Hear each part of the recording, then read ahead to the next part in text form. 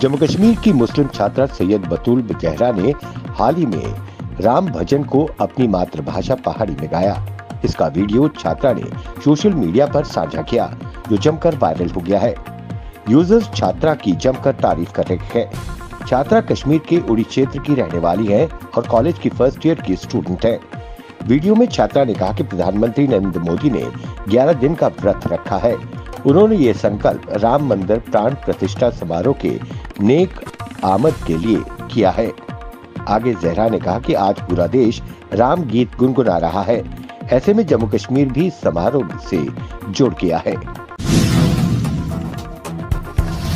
अयोध्या में 22 जनवरी को होने जा रही प्राण प्रतिष्ठा से पहले देश में अर्थव्यवस्था को पंख लग गए हैं। श्री राम प्राण प्रतिष्ठा समारोह से पहले देश में एक लाख करोड़ का व्यापार होने का अनुमान लगाया जा रहा है। अकेले दिल्ली में ही बीस हज़ार करोड़ से अधिक का कारोबार होने की संभावना है। Confederation of all India traders के राष्ट्रीय महामंत्री प्रवीण खंडेलवाल ने यह दावा किया है। जम्मू यूनिवर्सिटी के 40 से अधिक पीजी कोर्स में दाखिले की प्रक्रिया इस बार भी कॉमन यूनिवर्सिटी एंट्रेंस टेस्ट सी से होगी। इसलिए एकेडमिक सेशन 2024-25 की तैयारी अभी से शुरू कर दी गई है। यूनिवर्सिटी ने अधिसूचना जारी कर स्टूडेंट से आवेदन भरने के लिए कहा है।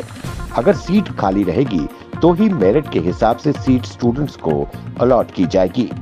आवेदन भरने की अंतिम तारीख 24 जनवरी 2024 निर्धारित की गई है। फ़ीस भरने की अंतिम तारीख 25 जनवरी को होगी। स्टूडेंट्स 27 जनवरी से लेकर 29 जनवरी तक आवेदन फॉर्म में गलतियाँ ठीक कर सकते हैं।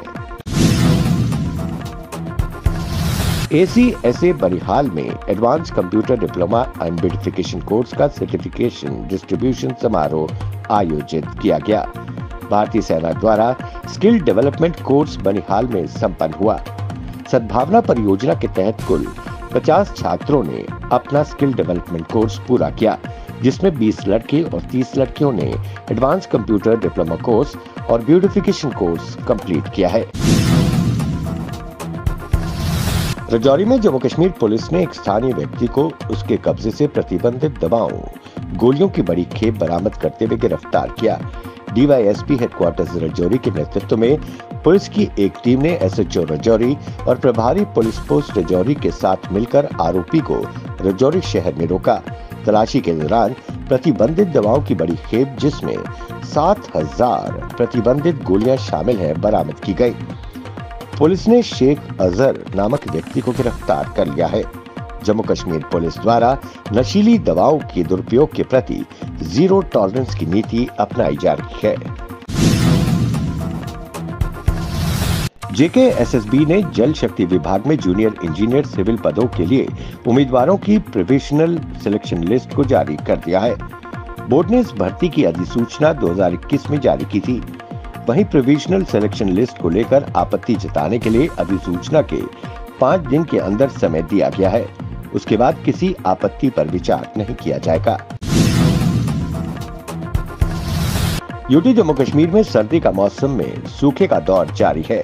मौसम विभाग के अनुसार अगले एक हफ़्ते तक भी बारिश के आसार नहीं है। लिहाजा प्रदेश को सूखा ग्रस्त घोषित किया जा सकता है। शुष्क मौसम का सबसे अधिक असर गेहूँ की फ़सल पर पड़ रहा है। इस समय गेहूँ को पानी की ज़रूरत है। अभी तक कोहरे की ओस से ही काम चल रहा है। लेकिन अगर हफ़्ते या फिर दस दिन तक बारिश नहीं हुई तो फ़सल पीली पड़ने लगेगी। इससे पैदावार पर भी काफ़ी असर पड़ेगा।